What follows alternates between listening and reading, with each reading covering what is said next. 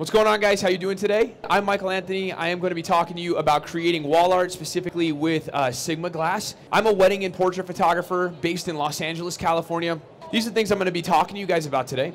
Defining impact, what's impact and why it's important in wedding photography and all types of photography for that matter as well. We're going to be talking about choosing the right focal length for your images. Uh, we're going to be talking about how lighting can impact the mood of your photographs, when to use the right type of light. And then lastly, I'm going to be talking to you guys about creating dramatic portraiture. These are the things that we try to do in our work to make it stand out and make it be different to potential clients all the things we're going to be talking to you guys about today, there's one common denominator, right? Storytelling is an element that has to be present in all of your images. And if you do this, it will drive an emotional connection between your clients and their photographs that will in turn get them to spend a little bit more money with you or in turn at least value your work more than if you guys don't have a story element to them. Focus on your client experience. Their perception of your images is directly tied to their experience that they have with you guys. So if you guys show up to your shoot on time, you deliver a fun experience for them, they are going to love their photos even more than, uh, than if you just didn't do those things and showed up, right? We can use any gear that we want, but there's a couple things that are really important, right? The ease of use, how easily it can integrate between me and my team, how everybody's able to use it. The build quality, we shoot in some of the craziest conditions, rain, wind, snow, all sorts of things every year. So the build quality of the glass that we choose is extremely important, right? The reliability, I need to know that my gear will uh, not get in the way of my final shot. Really, really important, right? The color that the, uh, the lenses are going to be providing for us. I want it to be as true to life as possible, as neutral as possible, without oversaturating or adding a color cast to our final images. Because at the end of the day, guys, these images are going on my client's wall. Having lenses that resolve that detail, extremely, extremely important, right? And then your autofocus speed. If you guys are shooting weddings, you guys know that moments happen in a blink of an eye, right? And then they're here and then they're gone. And if you're not able to capture that moment, if your gear again is getting in the way of the shot, it's going to be a bad experience for your client. So it's really important to make sure that your autofocus is not only accurate, but it's reliable and quick as well too. This is the current gear list that we use. You guys see we use a lot of the Sigma Art series and then um, you know a couple of the zoom lenses as well too. But whatever you guys end up using, just make sure it works in your workflow, right? So when you guys have clients who are considering you, they're looking through your portfolio and they're scrolling through a, uh, an Instagram portfolio or an online portfolio, what's going to get them to stop on your images? It has to be something that's different. And, uh, and those images that become part of your portfolio, they help define your brand.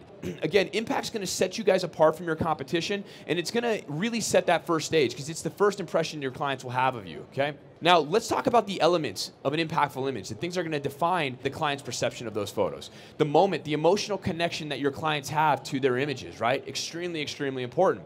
Composition, it's going to help to frame or lead the eye of the viewer directly to your subjects.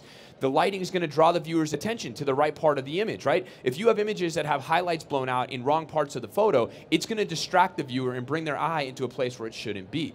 Lastly, uniqueness, something that is bold and fresh. Don't be afraid to get close to your subjects. We prefer the 35 millimeter prime, and by doing that, we can get about a handshake's distance away from our subjects, about as close as I am to you right here. And then by doing that, we're able to capture energy. We can lead the focus on you, but still have the stuff that's going on in the background to help tell that entire story. So on a wedding day, this is the primary lens that we're using the majority of the day.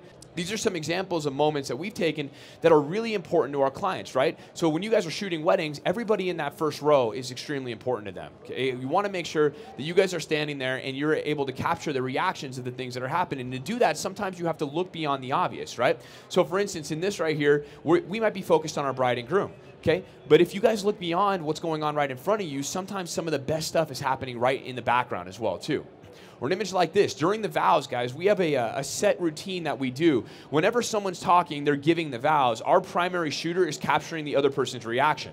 Our secondary shooter will be on the other side, capturing the speaker giver, and then we just switch when the uh, when they switch vows. Right? These are the things that tend to carry a lot of weight and a lot of emotion. And if you're there and you're anticipating it, you're going to be able to capture them as well too.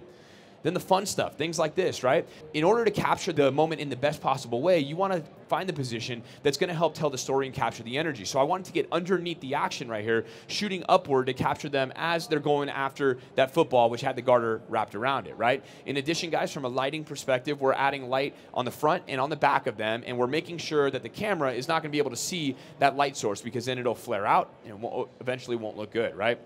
When a real moment happens at the height of that emotion, if you guys stop shooting because you think you got it, you're going to miss some of the best possible parts of that day, right? When people have, you know, a good reaction, they start laughing. Shoot through that moment all the way to the end of it, and then you guys can pick the best expression. Without lighting, we're not going to have a photograph. This is what we do, the actual art of capturing light. And the ability to use it creatively is what's going to create good impact for your clients. Okay, use the light to draw the viewer's attention to your photographs and look for sources of natural light. And when it's not there, find creative ways to manipulate it, right? This is a good example right here. So we're out here shooting, and, uh, and we had this beautiful um, scene in the background, right?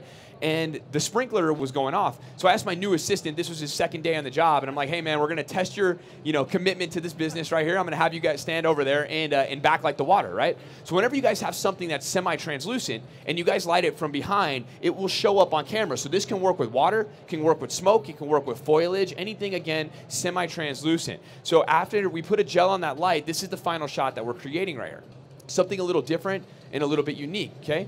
This is kind of our signature style of portraiture, and the way that we get this kind of an image is we're using different types of lighting. So if you guys see here, you have a light on the right side, and then you have a light on the left, which is creating this highlight right on her back and her shadow, okay? This is flat lighting. All you guys have to do is find a good source of open shade and add a reflector directly underneath right here, and then it'll create that soft glow on the face.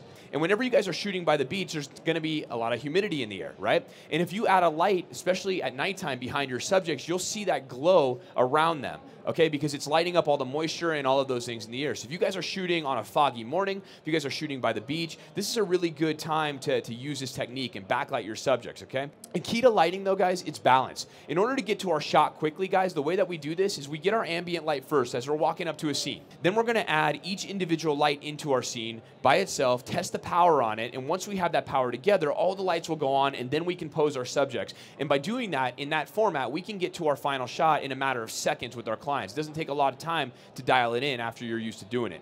Composition goes beyond the rule of thirds, but the goal of your composition is that it needs to bring the viewer's attention directly to your subjects. That is the ultimate goal when you guys are creating your compositions, okay? And I want to teach you guys one trick that we did in the very beginning. We went down to the city with our subjects. We took our camera, set it to f8, right? And we had to create portraits in a busy environment using the background without being able to put stuff out of focus, right? And if you do that on just a couple of shoots, you guys are going to start to notice that you start looking for things in your background, in your environment that are there, and you start trying to find negative space to put your subjects. And that's really one of the best ways you can learn to be a better compositionalist. This is a good example right here. We're looking to create this S curve, cutting the frame in half with this diagonal line coming from the from the uh, the boat, right? In this situation, guys, there's a couple things that we're looking to do.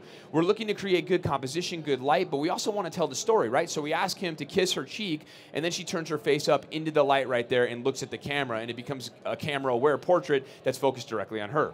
So you guys can use your environment, and you can also use the attire in order to help create better compositions. Something like this as well, looking at the St. Louis Arch to lead uh, our eyes directly into our subjects, but then we use the veil to lead the eyes back up into them, right? This is a, uh, a good example of using shapes. So you have triangle on the bottom, you have this triangle from her, the triangle on the top, and then you're framing her in between these three things as well too.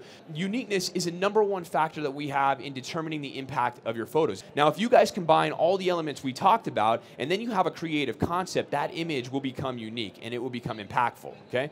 We shoot engagement sessions here all of the time, right?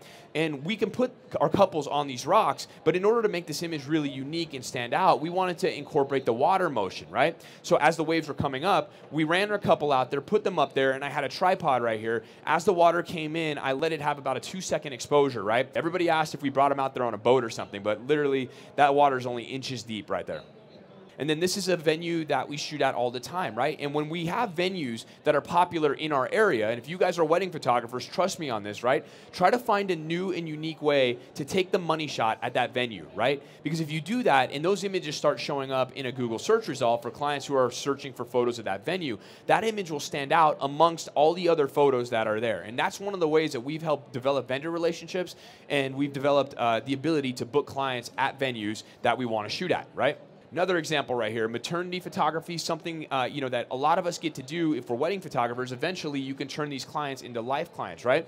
And if you develop a unique style of wedding photography, then these clients will come back to you because again, they can't get this anywhere else, right? The creative aspect of combining all of those elements together is going to help to define your brand, guys. And that unique portfolio will be the best asset that you guys have. So the only limitation, guys, to your own impact is your imagination and your commitment. Thank you guys so much for coming out and joining me. I'll be here if you have any questions.